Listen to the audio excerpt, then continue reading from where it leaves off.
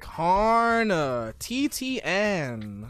Yeah. How you feeling, man? Congratulations, 60 man freaks number 52. Uh, definitely. You had a couple of uh, close calls in losers, and then made grands look like like a cakewalk, man. What's what's the secret? Tell me what's going on.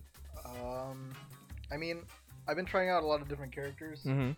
and I'm still trying to figure out, you know, what character to use for what, and For that's sure. going to be really important For sure. going into Genesis. Mhm.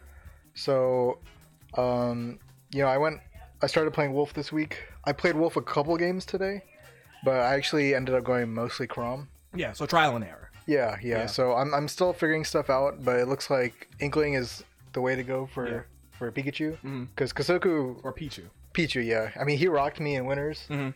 He rocked me the first two And games. then you gave him the, yeah, the yeah. slap up. Yeah, it's it's hard. His combo games, like, Oh, for sure. Kosoku's no slouch, he, and he's definitely in the lab. yeah. Honestly, Pichu's the right character for him, just Yeah. because like he can do nasty combos. Yeah, for sure. But I mean, speaking of right characters, it looks like you have a consistent team right now of, of, of three, right? Consistently three.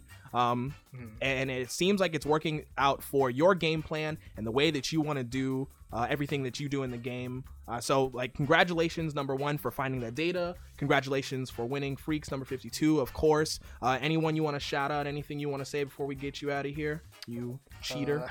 Uh, shout out to TTN. Yeah. Shout out to Trella for giving me advice and talking to me about Mhm. my character choices, what I want to do.